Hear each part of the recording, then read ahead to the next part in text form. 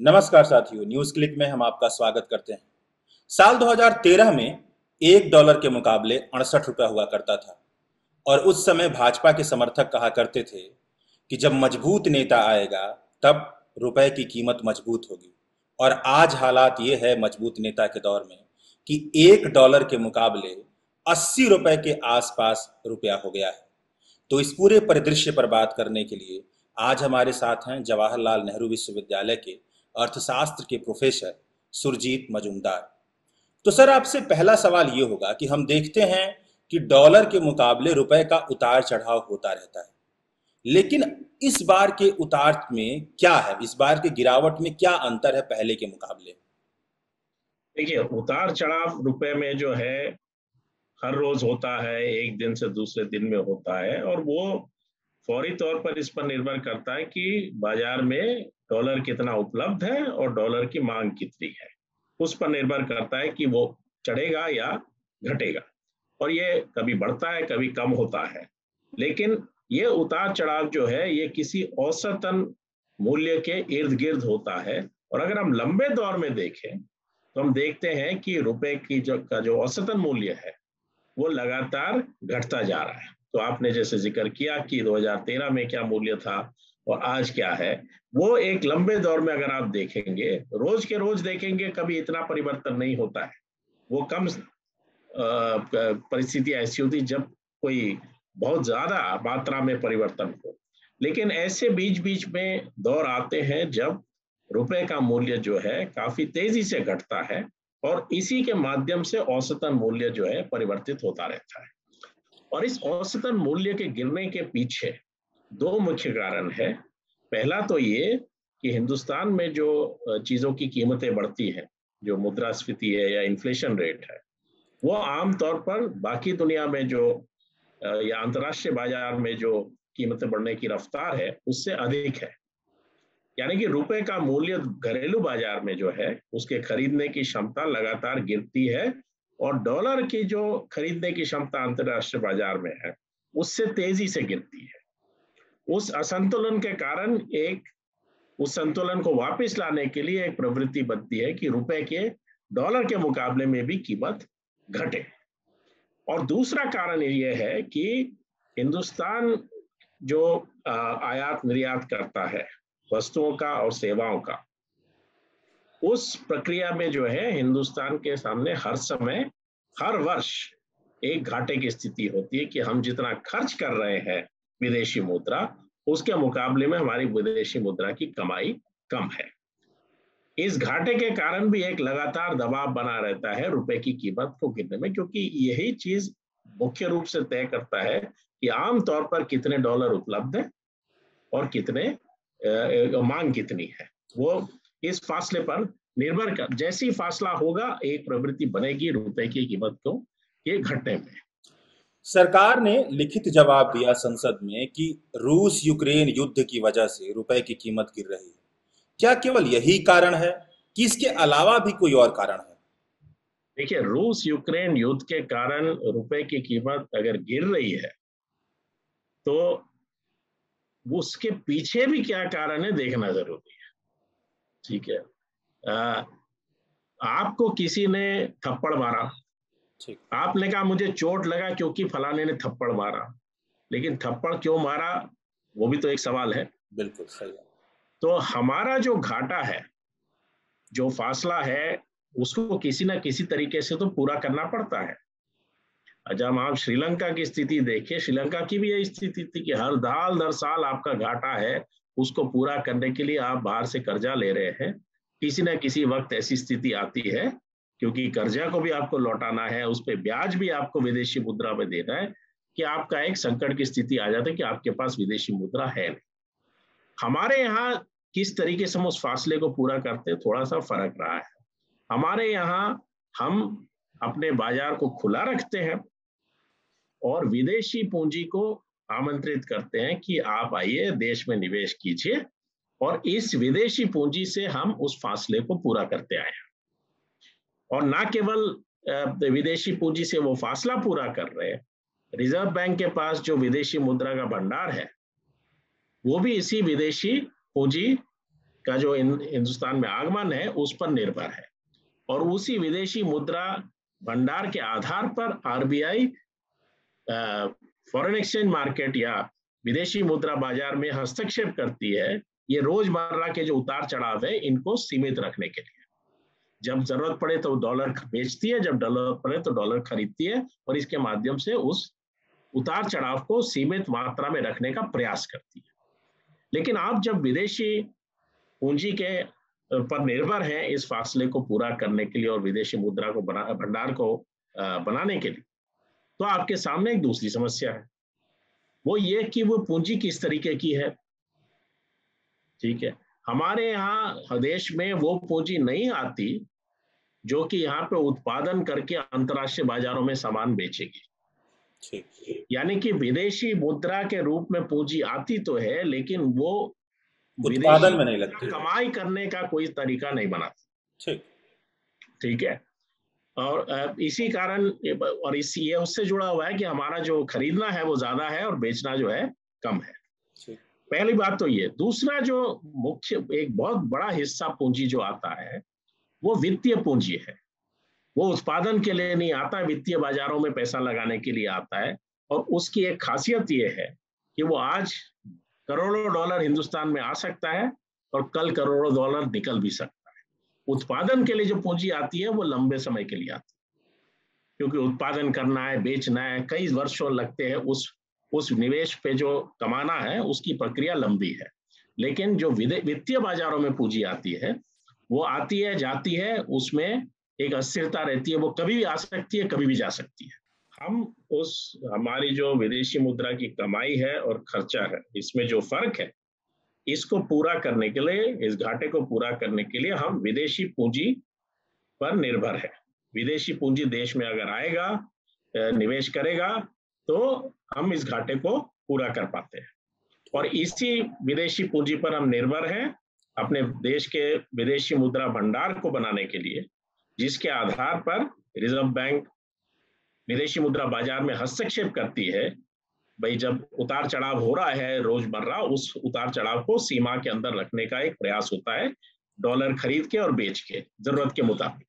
थोड़ा आप हमारे दर्शकों को ये बताएँगे कि ये जो आपने कहा कि हम बहुत कम मात्रा में उत्पादन के लिए विदेशी पूंजी आती है और बहुत ज़्यादातर मात्रा में वित्तीय पूंजी के तौर पर आती है, यानी कि अगर मैं ठीक समझूँ तो स्टॉक मार्केट में, इन्वेस्टमेंट में जो लगती है सारी चीज़ें। तो थोड़ा आप ये बताएँगे अनुपात कितना होगा, कितनी मात्रा है जो उत्पादन के लिए आती है और कितना जो वित्तीय पूंजी के तौर पर आती है, कुछ आप लमसम ये वर्ष से वर्ष बदलता है और इसमें परिभाषा का भी सवाल है कि आप उसको कैसे किस चीज़ को देखते हैं? कुछ चीज़ जिसको हम उत्पादन के लिए कहते हैं उसका भी एक वित्तीय चरित्र है। स्टार्टअप में पैसा आता है या कोई वेंचर कैपिटल है ठीक है? जो मुख्य रूप से किस एक जो निवेश है जैसे बहुराष्ट्रीय कंपनी कोई आती है हिंदुस्तान में फैक्ट्री लगाती है किसी चीज़ का उत्पादन करती है वो निवेश में भी एक चरित्र है हिंदुस्तान। कि वो उस उत्पादन के लिए नहीं आती जिसको अंतरराष्ट्रीय बाज़ार में बेचा जाए। यानी कि विदेशी पूंजी के पूंजी के रूप में तो आती है लेकिन उससे कोई विदेशी मुद्रा की कमाई जो है नहीं हो पाती। तो अब तक का जो वित्तीय पूंजी है हम्म। उसका चरित्र यह है कि वो तेज़ी से आ भी सकता है और तेज़ी से निकल भी सकता है। और उसके कारण उसके आने जाने से विदेशी मुद्रा बाज़ार में लगातार अस्थिरता की स्थिति बनी रहती बनी रहती है। तो अब और तक... ये आने जाने की प्रक्रिया से जो खतरा एक और है हम्म। ये एक तो वो है कि आपके यहाँ कीमतें तेज़ी से बढ़ रही है और एक है अगर लोग अपेक्षा कर, ये सोचें कि ये कीमतें बढ़ने वाली है तेज़ी से हिंदुस्तान में हम्म। और इसके आधार पर अपना फैसला ले तो जो विदेशी पूंजी हिंदुस्तान में आती है उस वो क्या कैलकुलेशन करती है कि भाई अगर यहाँ तेज़ी से कीमतें बढ़ी और रुपए का मूल्य गिरा तो हमारा पैसा जो है जो हिंदुस्तान में लगा है उसके मूल्य को खतरा है। बिल्कुल सही। इसलिए वो होने से पहले निकाल लो। निकाल लो। जब वो निकालते हैं तब विदेशी मुद्रा की मांग बाज़ार में बढ़ जाती है हम्म। और सब जब निकाल रहे हैं पूंजी तो सप्लाई कम है। तो जो वो अपेक्षा कर रहे हैं कि भाई रुपए की कीमत गिरेगी वो हकीकत बन जाती है। क्योंकि उसके आधार पर जो वो करते हैं उसी से रुपए की कीमत। यानी कि ये लगातार अर्थव्यवस्था को खतरा रहता है कि रुपए की कीमत बहुत तेज़ी से गिरेगी। और हमारे अर्थव्यवस्था की कोई ऐसी स्थिति नहीं है कि हम इससे अपने आप को बचा सके अगर हम अपने बाजारों को पूरी तरह से खुला रखें। और इस पर कोई नियंत्रण ना रखे कि पैसा आने जाने पे कोई अगर हम नियंत्रण ना रखें तो हम इस खतरे के से हर समय खेल रहे हैं कि किसी भी दिन रुपए की कीमत तेज़ी से गिरेगी। ये खतरा लगातार और इसके लिए ज़रूरी भी नहीं है कि हिंदुस्तान की अर्थव्यवस्था में कोई दिक्कत हो उस समय। अंतर्राष्ट्रीय स्थिति पर आधारित है क्योंकि ये पूंजी इधर हिंदुस्तान में जैसे आती है कहीं पे भी जा सकती है। अगर उसको लगे कि अंतर्राष्ट्रीय अर्थव्यवस्था की स्थिति कमज़ोर है तो वो भाग के अमेरिका जा सकती है। उसको लगता है कहीं और बाज़ार में ज़्यादा फ़ायदा है, वो हट के यहाँ से वहाँ जा सकती है। तो लगातार अस्थिरता बनी रहती है और इसका परिणाम यह है कि सरकारी नीतियाँ जो है, आर्थिक नीतियाँ जो है, उनका ध्यान इसी पर रहता है कि किसी तरह विदेशी पूंजी जो आती है, उसको खुश रखें, वो यहाँ से पैसा ना निकाले। यानी कि आप ये सुनिश्चित करो कि हिंदुस्तान में कीमतें ना बढ़े। और उसका एक ही गारंटी दे सकते हो आप कि आप ये सुनिश्चित करो कि हिंदुस्तान में जो मांग की स्थिति है उसको दबा के रखिए ताकि उनको आश्वासन दिया जा सके कि भाई हिंदुस्तान की कीमतें जो है हद से ज़्यादा बढ़ेंगी नहीं यानी कि आप अपनी अर्थव्यवस्था में उत्पादन को गिराकर हम्म। मांग को गिराकर आप उनको सुनिश्चित उनको आश्वासन देते हैं इसीलिए आप जब कीमतें बढ़ती हैं इंटरेस्ट रेट बढ़ाते हैं हम्म। ब्याज का दर बढ़ाते हैं और सरकारी खर्चे में जो है आप हर समय कोशिश में होते हैं कि सरकारी खर्चे को कैसे अंकुश में रखा जाए फ़िज़िकल डेफिसिट को कैसे सीमित रखा जाए। तो ये जो प्राथमिकताएँ सरकार की बन जाती है ये क्योंकि उनका ध्यान रहता है कि भाई विदेशी मुद्रा बाज़ार में जो है अस्थिरता ना बने। ना। कुछ साल पहले मतलब रिज़र्व बैंक के कामकाज में थोड़ी बदलाव आई बदलाव आया और कहा गया कि महँगाई को नियंत्रित करने का रिज़र्व बैंक काम करेगी। उस परिप्रेक्ष्य में देखा जाए तो ये जो विदेशी विनिमय दर है इसको लेकर के आप रिज़र्व बैंक के कामकाज को कैसे देखते हैं? देखिए ये जो इस तरह मैंने जैसे कहा कि ये हम्म। प्राथमिकता क्यों बन जाती है कि आ, आप आ, कीमतों के, के दर को कम करके रखें ठीक है? आखिरकार हमको चिंता क्यों है महँगाई होने से? कि हमारे पास जो खरीदने की क्षमता है लोगों की वो कम वो अगर बढ़ती नहीं है तो वो जो खरीद पाएँगे वो कम हो जाएगा। हम्म। इसी कारण से चिंता है। अगर आप दूसरे तरीके से उनके खरीदने की क्षमता को कम कर दे कि उनको काम नहीं है हम्म। रोज़गार नहीं है रोज़गार मिले तो वेतन कम है तो आप जिस आप विदेशी जो पूंजी ला रहे हैं उनके लिए तो उनकी समस्या का तो समाधान कर रहे हैं। लेकिन आम जो लोग हैं उनकी समस्या जो है उसको आप बढ़ा रहे हैं। तो यही हो जाता है कि विदेशी मुद्रा बाज़ार में स्थिरता बनाने के लिए आप अपने अर्थव्यवस्था में ऐसी स्थिति बना देते हैं संकट की स्थिति बना देते हैं कि लोगों के पास खरीदने की क्षमता बढ़े ना उस आप उस पर ही लगे रहते हैं। तो बेरोजगारी की जो स्थिति है लोगों के खरीदने की जो क्षमता सीमित है उसका आप कोई समाधान नहीं कर पाते और इस कारण से हिंदुस्तान में भी जो लोग निवेश करने की क्षमता रखते हैं उत्पादन में वृद्धि कर सकते हैं रोज़गार तैयार करते हैं वो देखते हैं कि हिंदुस्तान के बाज़ार में तो मांग है नहीं। तो आप क्यों पैसा इसमें डुबोए? नए फैक्ट्री क्यों लगाए? नए उत्पादन के साधन क्यों तैयार करें? ठीक है आप भी वो नहीं करते और इसलिए ये जो एक संकट से बचने के लिए आप दूसरे संकट को जो है और गहरा कर अब ये बात कही जा रही है कुछ लोग कह रहे हैं कि डॉलर के मुकाबले जो विश्व की दूसरी मुद्राएँ हैं जैसे कि जापान की येन और यूरो इनमें गिरावट इनमें भी गिरावट हुआ है और ये गिरावट रुपए से ज़्यादा है। इसलिए आप रुपए की गिरावट पर इतना चिंतित क्यों हैं? बहुत सारे लोग का ये तर्क है तो इसे कैसे देखते हैं देखिए ये तो सही है कि एक विश्व स्थिति जो ऐसी है जिसमें पूंजी जो है अमेरिका की तरफ़ अगर भागती है तो उसके कारण सब बाकी देश के करेंसीज के मुकाबले में डॉलर की कीमत बढ़ती है लेकिन दूसरी तरफ़ डॉलर और रूबल की स्थिति देखे तो वहाँ उल्टा ही रहा है, हो रहा है हाँ। तो सवाल यह है कि आप कह रहे हो कि अंतर्राष्ट्रीय बाज़ार की स्थिति है इस कारण से हो रहा है आप क्यों चिंतित हो रहे हैं? ठीक है। हमें आप बताइए कि अंतर्राष्ट्रीय बाज़ार में इसी स्थिति के कारण तेल की कीमतें बढ़ रही हैं। तेल की कीमतें जब बढ़ रही हैं और रुपए की कीमत डॉलर के मुकाबले में गिर रही है तो आपके ऊपर तो डबल असर है। डॉलर के डॉलर में तेल की कीमतें बढ़ गई। हम्म। और एक डॉलर के लिए आपको जितने रुपए देने हैं वो भी बढ़ गया। तो इसलिए आपके पास जो है आपके यहाँ महँगाई और बढ़ गई।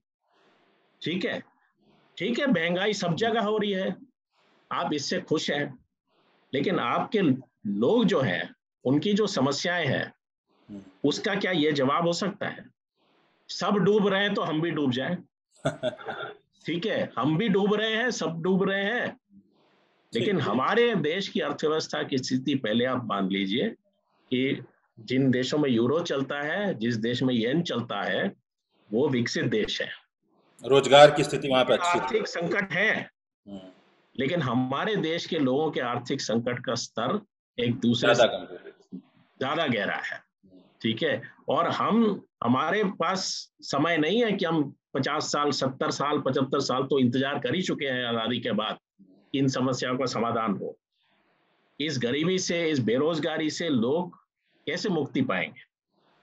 आपने कहा कि इसका समाधान ये है। आप नीति तय कर रहे हैं ना कि हम अंतरराष्ट्रीय व्यवस्था के साथ जुड़ के अपने देश का विकास करेंगे। ये आपकी नीति है।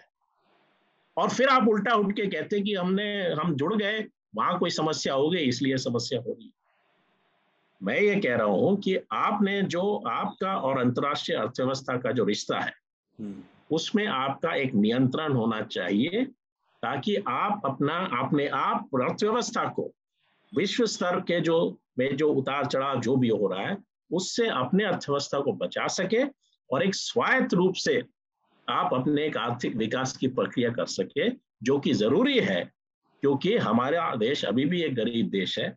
इसमें बहुमत जनता अभी भी गरीब है। उसकी बेरोजगारी की समस्या बहुत ही बड़ी है। हाँ छोटी नहीं है बहुत बड़ी है। और हमारे पास ये उस उस अर्थव्यवस्था में आज ऊपर कल नीचे थोड़ा ऊपर नीचे। हमारी स्थिति नहीं है कि हम इस इसको झेले। हमको लंबे समय तक एक निरंतर हमारे यहाँ उत्पादन और रोज़गार का विकास होना ज़रूरी है और इसलिए उसके उपयुक्त नीति होनी चाहिए। अगर आप नीति गलत अपनाते हैं और फिर उसी को बहाना बनाते हैं हम्म। तो उस हम तो कह ही रहे हैं। ज़रूर ज़ाहिर है कि अगर आप अंतर्राष्ट्रीय अर्थव्यवस्था से अपने आप को कुछ हद तक स्वायत्त नहीं रखेंगे तो हम्म। आपके पास ये समस्याएँ होंगी। हम लोग तो बहुत सालों से कह रहे हैं। कुछ लोग कहते हैं कि कुछ लोग कहते हैं जो अर्थशास्त्री हैं कि भारत सस्ती मुद्रा नीति अपना रहा है। तो इस चीज़ को लेकर के अवमूल्यन पे भारत को लेकर के ज़्यादा चिंतित नहीं होना चाहिए उनका भी ये तर्क है। तो ये सस्ती मुद्रा महँगी मुद्रा ये सब क्या है कि जिसको लोग कहते रहते हैं? देखिए ऐसा है कि अगर आप के अर्थव्यवस्था में एक मांग की समस्या है। यानी कि रोज, लोगों के पास रोज़गार नहीं है, लोगों के पास कमाई नहीं है तो लोग चीज़ें बाज़ार में खरीदने की स्थिति में नहीं है। जब लोग चीज़ें बाज़ार में खरीदने की स्थिति में नहीं है, उन चीज़ों को बनाने वाले भी खर्चा नहीं करते उसका उत्पादन करने के लिए, उससे उत्पादन, मांग की स्थिति और खराब होती है।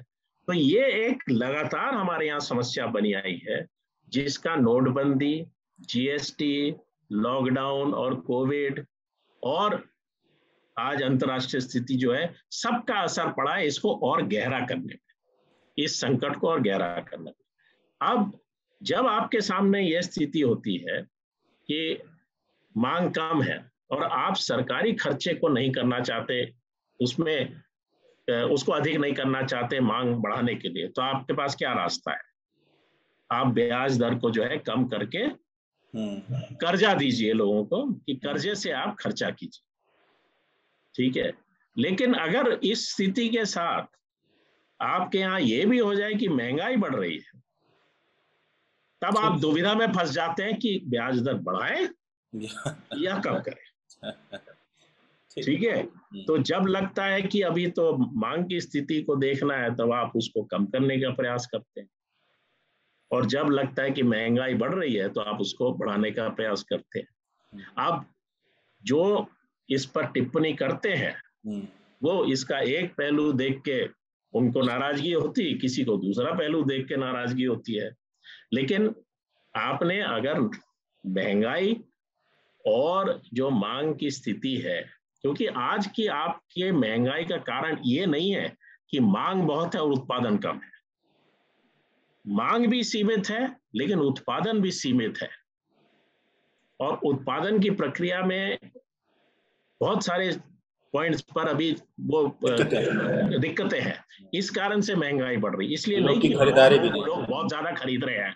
बहुत तेज़ी से लोग लोगों की मांग बढ़ रही है और उत्पादन उसके मुकाबले में उतनी तेज़ी से नहीं बढ़ रहा। ये तो स्थिति नहीं है। तो अभी आपके सामने ये स्थिति है कि आपको मांग भी बढ़ाना है और महँगाई की समस्या का भी समाधान ढूंढना है।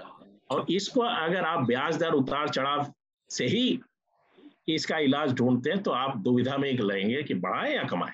क्योंकि दोनों क्योंकि अभी आपके पास दोनों स्थिति है। तो ज़रूरी यह है कि सरकारी खर्चे को आप सार्वजनिक खर्चे को बढ़ाने की हम्म।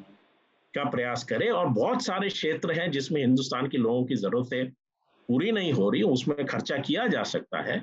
और इसका मतलब यह नहीं कि आप सरकारी खर्चे में बहुत बड़ा घाटा लगाए हम्म। अगर आप खर्चा करते हैं उत्पादन बढ़ता है तो टैक्स भी सरकार के पास ज़्यादा आती है और ना केवल टैक्स आती है जिनके पास साधन है जिनके पास बड़ी आय है उनसे आप अधिक टैक्स बटोर सकते हैं अगर आप आम लोगों से कह सकते हैं, आम आदमी से कह सकते हैं कि कोई बात नहीं, तेल की थोड़े, तेल पे थोड़ा टैक्स हम बढ़ा रहे हैं, क्योंकि कोरोना है, इस पर खर्चा करना, उस पर खर्चा करना। तो बड़े कॉरपोरेट घराने जो है या जिनकी करोड़ों की कमाई है, उन पर भी तो थोड़ा बोझ बढ़ा सकते हैं। उन पर भी तो थोड़ा टैक्स का बोझ बढ़ा सकते हैं। आप वो नहीं करके जीएसटी में आप इधर बढ़ा दीजिए, उधर बढ़ा दीजिए, ज़रूरी चीज़ों पर बढ़ा दीजिए। लेकिन जो डायरेक्ट टैक्स जिसको कहते हैं इनकम टैक्स या कॉर्पोरेट टैक्स है उसमें बढ़ा के आप साधन भी बटोर सकते हैं। ये नहीं कि आप बस पागलों की तरह खर्चा करते रहिए और आपके पास साधन नहीं है उसके हाँ। तो आपसे अंतिम सवाल अब होगा कि जिन लोगों ने अपनी ज़िंदगी में डॉलर देखा तक नहीं उन लोगों की ज़िंदगी में जब डॉलर के मुकाबले रुपए की इतनी बड़ी गिरावट होती है तो क्या बुनियादी असर पड़ता है उनकी ज़िंदगी में? और उनकी ज़िंदगी को ठीक करने के लिए आपने एक समाधान तो किया कि सार्वजनिक खर्चा बढ़ाया जाए। और क्या चीज़ें हो सकती हैं? देखिए, डॉलर, रुपए की जो डॉलर के मुकाबले में कीमत जब घटती है, उसका असर तो उन लोगों पर पड़ता है। जैसा मैंने कहा, एक तो जो ज़रूरी चीज़ें हैं, हम ना केवल तेल का आयात करते हैं, हम बहुत सारे खाद्य पदार्थों का जो खाने के सामान है, उनका भी हम आयात करते हैं क्योंकि हमारे यहाँ उत्पादन जितना ज़रूरी है उससे कम है। हम खाद भी उत्पादन कृषि क्षेत्र के उत्पादन के लिए जो खाद ज़रूरत है उसका भी हम फर्टिलाइज़र का भी हम आयात करते हैं। कोयले का भी आयात हो रहा है। हाँ तो ये सब ज़रूरी है और अगर रुपए की कीमत ज़्यादा घट गई ये सब चीज़ें महँगी होंगी और इनका आम चीज़ों के कीमतों पर असर पड़ेगा जिसका बोझ आम और हमारे देश में ज़्यादातर लोग ऐसे हैं जो पच्चीस हज़ार से कम कमाते हैं। और उनको डीए नहीं मिलता है। हम्म, कि कीमतें बढ़ गई तो उनका डीए भी बढ़ जाएगा। तो उनके जो खरीदने की क्षमता उसमें कटौती होगी।